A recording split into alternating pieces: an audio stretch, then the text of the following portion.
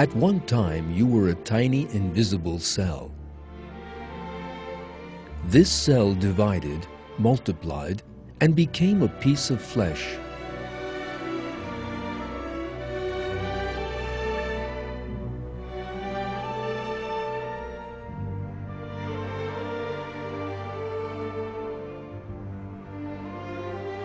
Later, it became a seeing and feeling human being.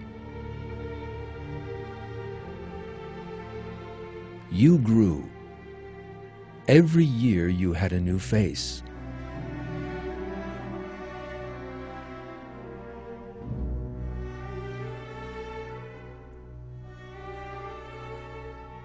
Have you ever considered what a great miracle this is?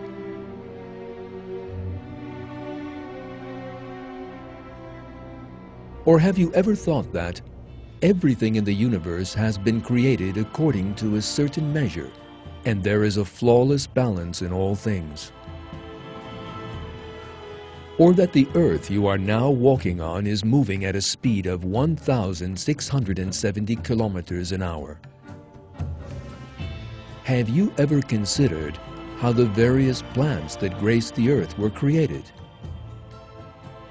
How fruit emerged from the muddy soil with its tastes, smells, and colors so pleasing to human beings. How the skins of fruit are actually a wonderful wrapping.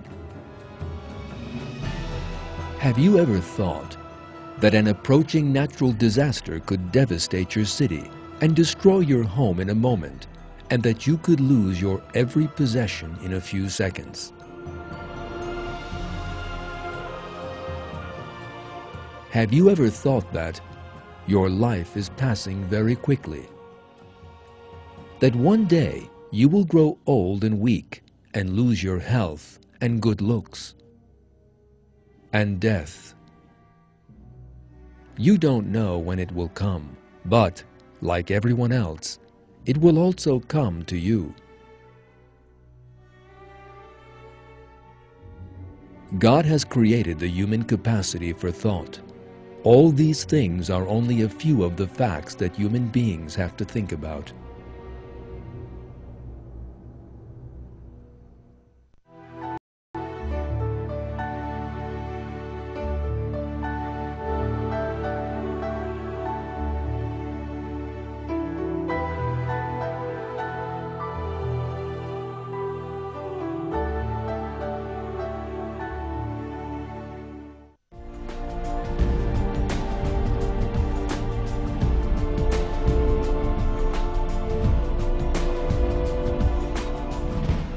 Everyone has the capacity for thought, but may not be aware of it. When a person starts to use this capacity, he begins to see things he had never noticed before. God has created everything we see for a specific purpose and has invited human beings to think about them. In one verse, he says, In the creation of the heavens and earth and the alternation of the night and day, and the ships which sail the seas to people's benefit, and the water which God sends down from the sky, and scatters about in it creatures of every kind, and the varying directions of the winds and the clouds subservient between heaven and earth. There are signs for people who use their intellect.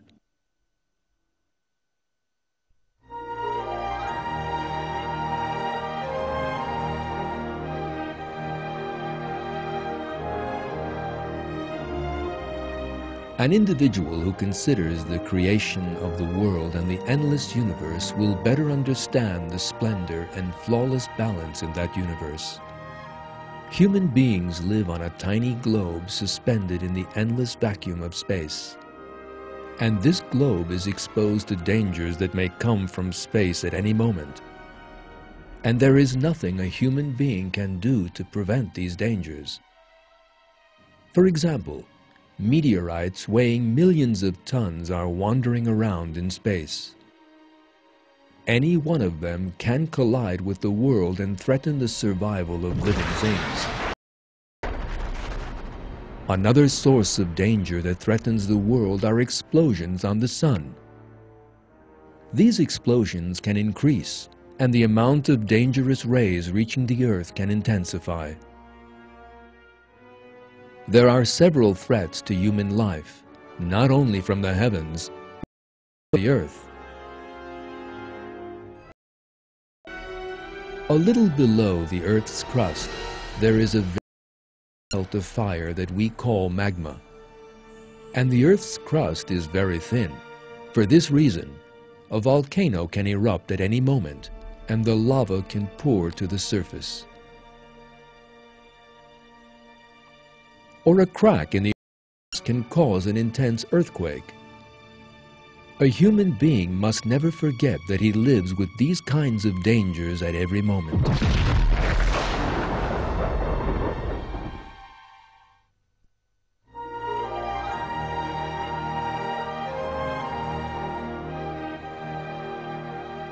Our world is protected from these possible threats by very delicate balances. An individual who thinks about these things understands that all creatures live on the earth by God's will and thanks to the flawless balance that He has created.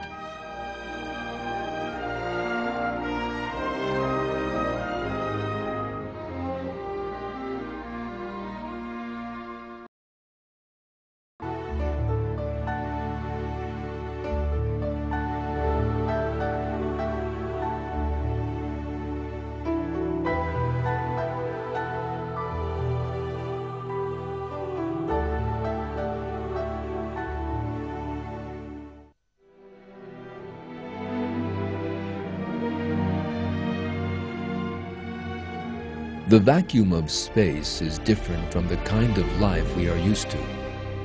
At this moment, 560 million kilometers above the place where you are sitting, there are radiation storms moving at a speed of 100,000 kilometers an hour, caused by explosions on the sun.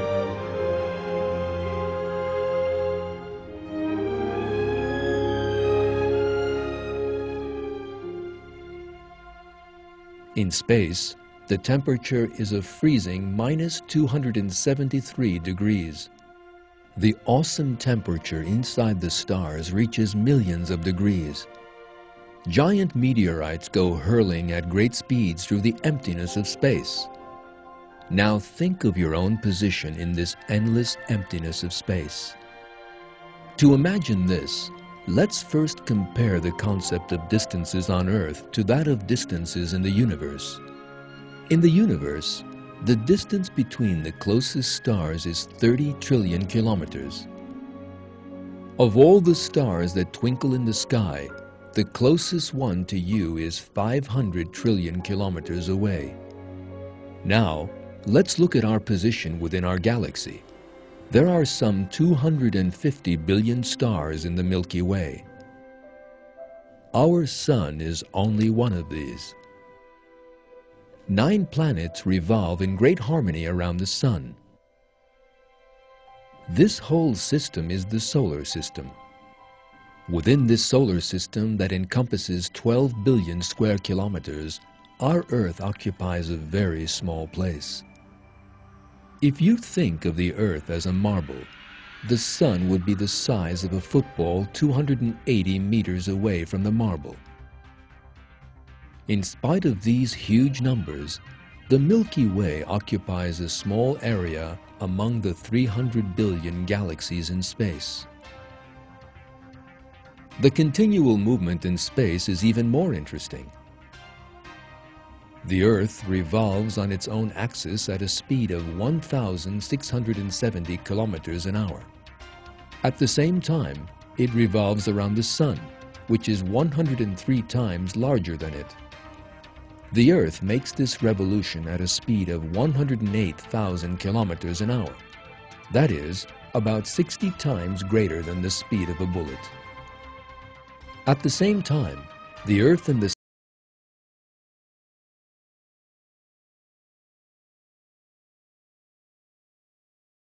ordinary speed of 720,000 kilometers an hour. And our galaxy is also moving. And we are not even aware of this enormous journey we are making every moment.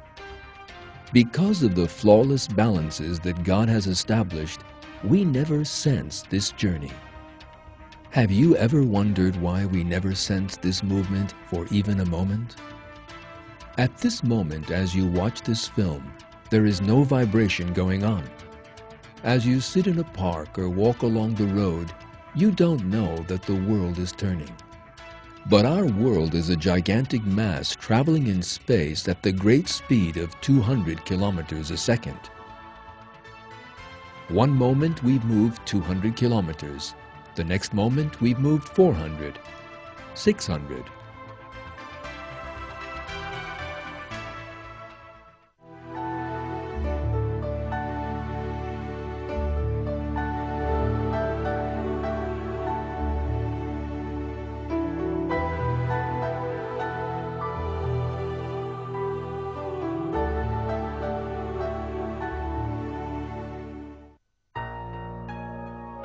When the sun rises, a whole new day begins. Actually, it is a great miracle that human beings can wake up healthy every morning. Despite the fact that a person completely loses consciousness when he falls asleep, he begins the new day with the same consciousness and personality that he had the day before. Again, he can think, speak, and see. However, while asleep at night, there is no guarantee that these blessings will be given to him again in the morning.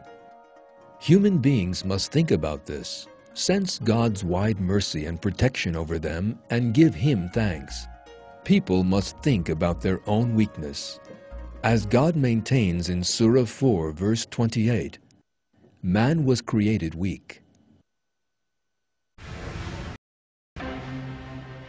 When people aren't careful about what they eat, drink, or the clothing they wear, they may easily become ill.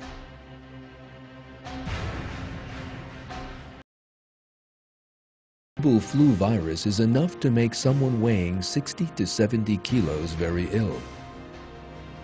The only thing the sick person can do is rest in bed. During this time, a struggle goes on in the body that the sick person has no control over.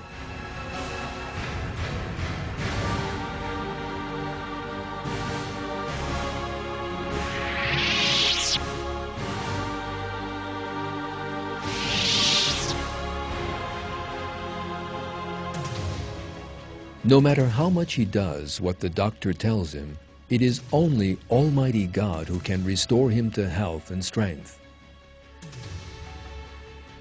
Therefore, we must recall what Ibrahim said in the Quran and pray. He who gives me food and gives me drink, and when I am ill, it is he who heals me.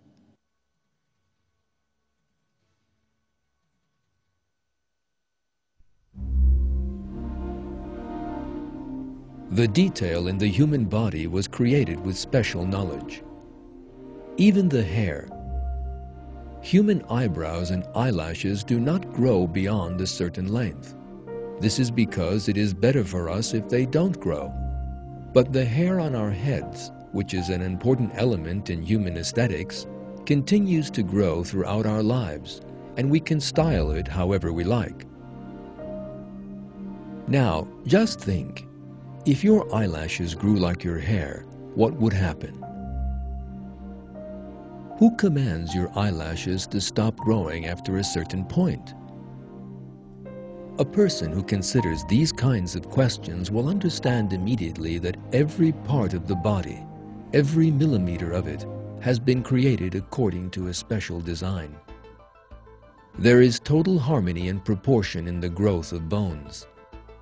The human brain begins to grow from childhood. At the same time, the skull also grows. If the growth of the skull and the brain were not proportionate and the skull remained small, the brain would explode under the pressure. But this does not happen. The skull and the brain grow together until a certain age, and the skull encircles and protects the brain like a cage. How do the bones that have been growing proportionately with one another know that they must stop growing after they reach a certain size? What would happen if the bones continued to grow? For example, if the bones of the rib cage did not stop growing at a certain point, they would pierce the flesh and protrude from it.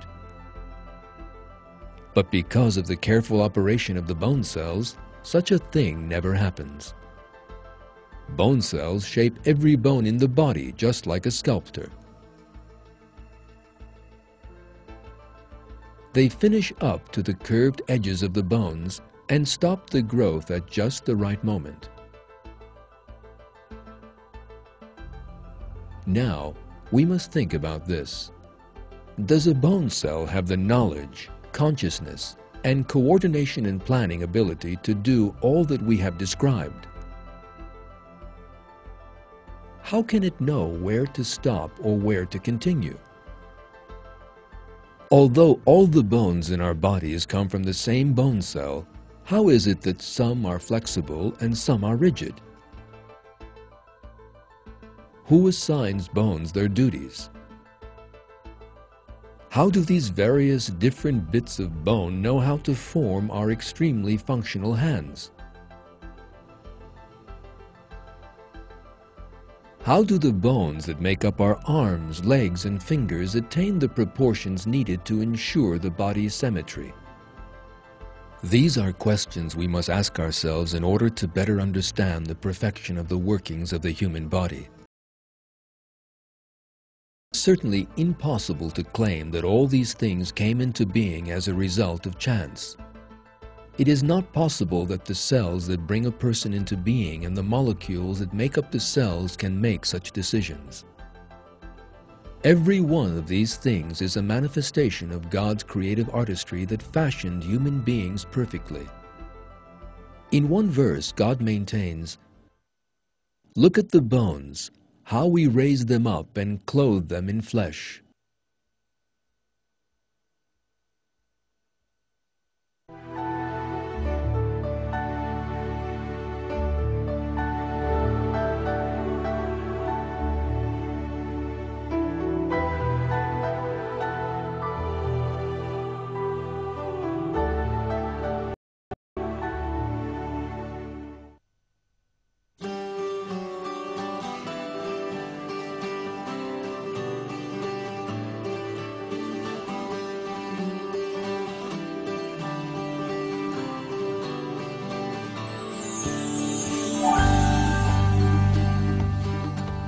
Created a number of blessings for humans to eat and drink.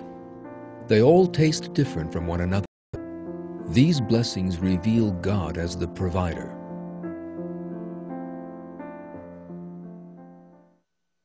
It is God who provided you with good and wholesome things. That is God, your Lord. Blessed be God, the Lord of all the worlds.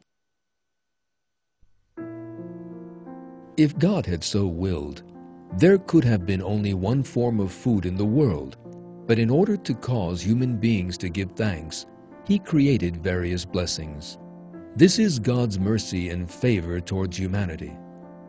In every item of food and drink, there are signs to remind us of God's blessings to us. For example, most fruits were created with a wrapping.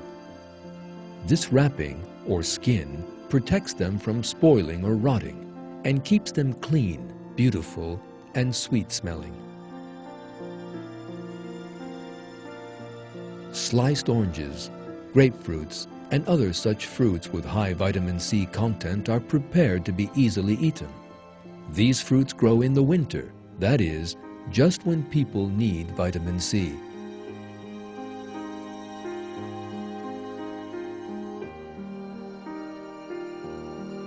In summer, there is greater need for water, and in that season, such fruits as thirst-quenching melons, watermelons, peaches, and grapes are abundant. These details all prove that God created fruits especially for human beings.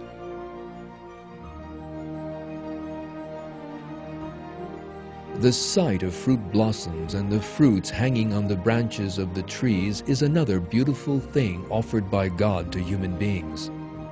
Clusters of grapes, green and red apples, peaches. When you cut a kiwi fruit in two, you see a finely worked tapestry. Another fruit known for its aesthetic appearance is the strawberry, lying red among its green leaves. Despite the fact that all these fruits came from the dark earth, each of them has a different taste and smell, and a beautiful color. They show us once again God's artistry, His endless knowledge and intelligence. In a verse of the Quran, God uses human beings to think about these blessings. It is He who sends down water from the sky from which we bring forth growth of every kind, and from that we bring forth the green shoots, and from them we bring forth close-packed seeds, and from the spathes of the date palm date clusters hanging down, and gardens of grapes and olives and pomegranates, both similar and dissimilar. Look at their fruits as they bear fruit and ripen. There are signs in that for people who believe.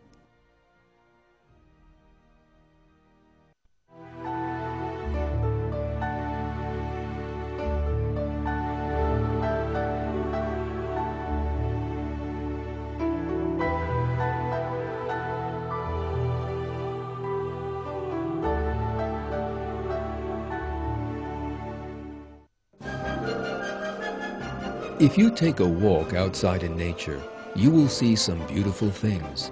Colorful flowers, green pastures, or a tiny ant. Even an insignificant ant is created with many surprising qualities. This tiny insect can cut off pieces of a leaf or lift crumbs bigger than its own body and carry them easily back to its nest.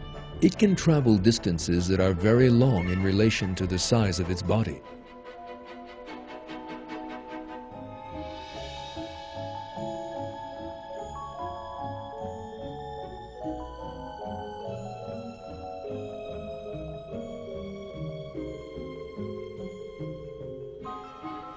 It can find its nest on an endless floor of leaves.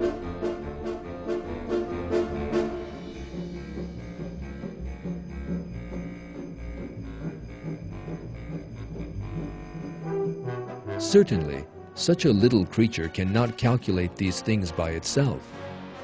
It is Almighty God who inspires it and reveals in the ant his name, the compassionate.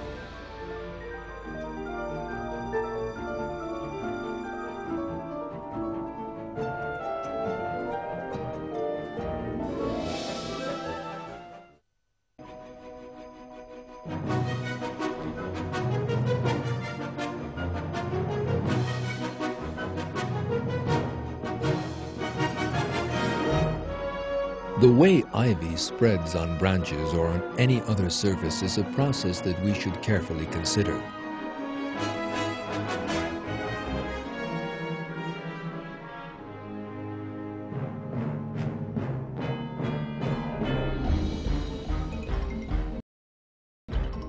If this growth were videotaped and later watched in fast motion, you would notice that the ivy moves as if it had consciousness. It is as if it saw that there was a branch nearby, lassoed it, and attached itself to it. Sometimes it even secures itself by winding around the branch several times.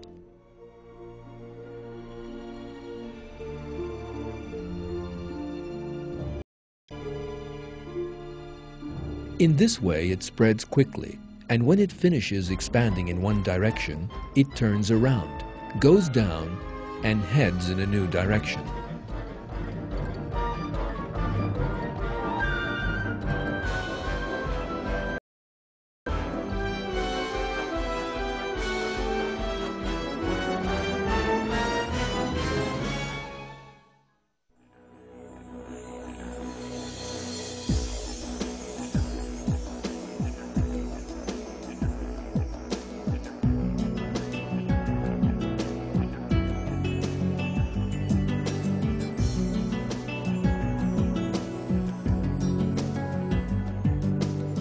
Another beautiful thing that God has created is the scent of flowers.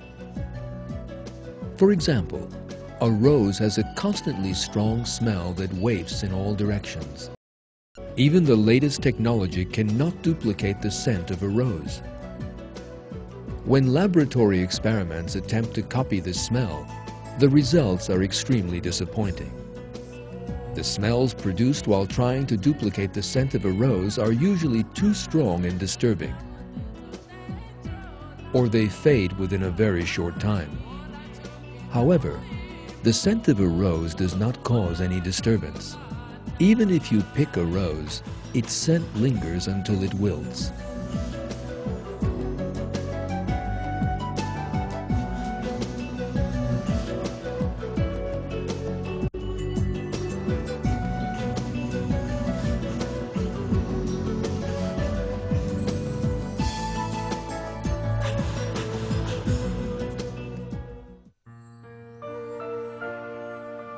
That carry water up meters high are another miracle.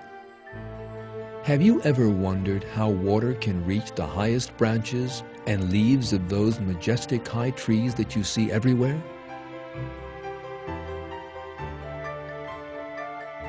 Trees carry water from the depths of the earth to a height of many meters, and they do this without the help of a pump. In order to better understand this perfect design, let's consider an example. In order to raise water to the top floors of a building, a pump is used. Without using this or another device with a strong motor, water cannot even be drawn up to the lower floors. However, trees can perform this function without a pump or a motor. They somehow manage to draw water up to their topmost leaves.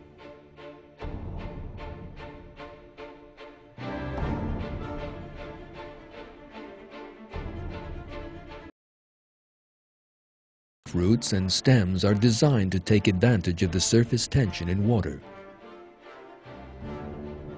As the water rises, the two climb upwards. Water molecules strongly attract one another, and water is drawn up to the highest leaves.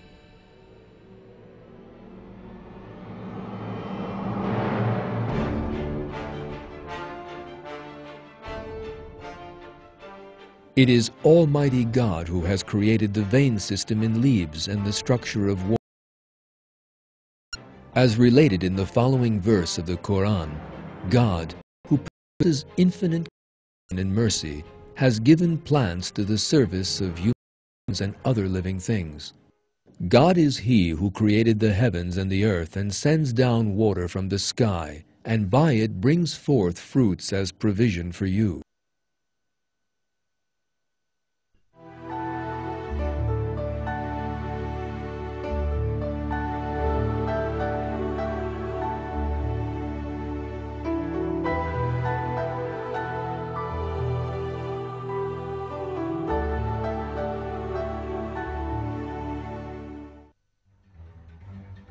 Every day on television we see many news reports of assaults, violence and crime.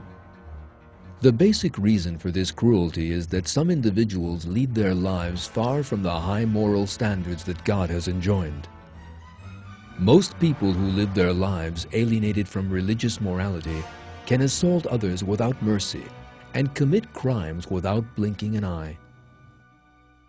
The basic reason for cruelty is that people do not fear God as they should. They are not aware or they choose to forget that they will have to render Him an account. But sincerity, trust, kindness, honesty, self-sacrifice and other values inculcated by religion are the way to peace, security and justice in society. We often hear news stories in the media about disasters. A person can meet with disaster in this world at any moment.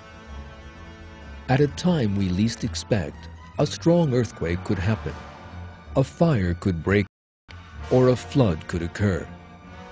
Natural disasters can wipe out in a moment the technology that makes people feel secure. People could lose their homes, cars, or their loved ones in a second. A person following these news reports should consider just how helpless he is, and that there is no other helper or friend to turn to except God. God reveals this truth in the Quran. Mankind, you are the poor in need of God, whereas God is the rich beyond need, the praiseworthy.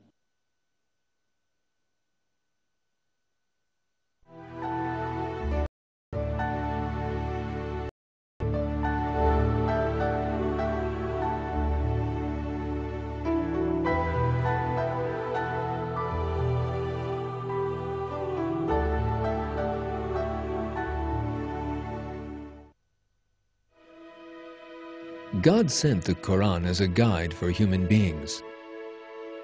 What an individual must do is think about each of its verses. In the Quran, God invites us to consider many things. For example, He invites us to think about our own creation. Man has only to look at what he was created from. He was created from a spurting fluid. God invites us to think about the creation of the heavens and the earth. In the creation of the heavens and the earth and the alternation of night and day, there are signs for people with intelligence.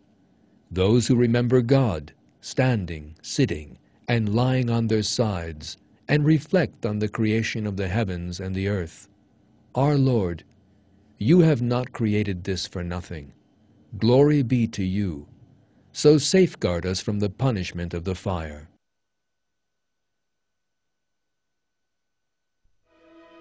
God invites us to think about the transitory nature of life in this world. The life of this world is nothing but a game and a diversion. The abode of the hereafter, that is truly life if they only knew. Whatever you have been given is only the enjoyment of the life of the world. What is with God is better and longer lasting for those who believe and trust in their Lord.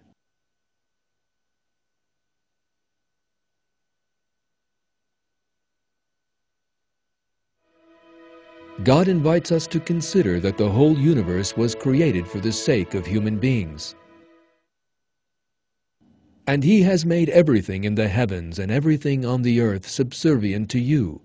It is all from him. There are certainly signs in that for people who reflect.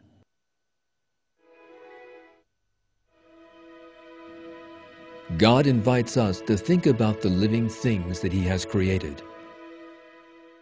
You have a lesson in livestock. From the contents of their bellies, from between the dung and blood, we give you pure milk to drink, easy for drinkers to swallow. God invites us to think about the hereafter, the day of resurrection, the day of judgment. On the day that each self finds the good it did and the evil it did present there in front of it, it will wish that there were an age between it and then. God advises you to beware of Him God is ever gentle with his servants.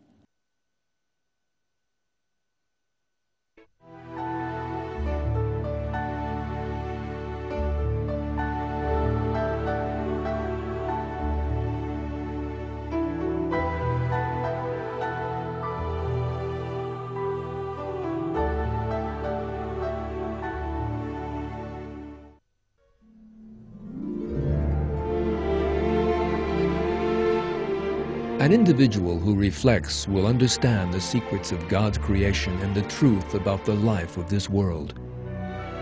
He will recognize God's attributes in everything. Unlike most of mankind, throughout his life he will think about why he exists. He grasps the knowledge that God has taught him and begins to think as God has commanded. As a result, he will take more pleasure than anyone in God's blessing, and he will not worry needlessly or involve himself in the care of worldly ambitions. Only some of the wonderful things that such a thinking person will gain in this world.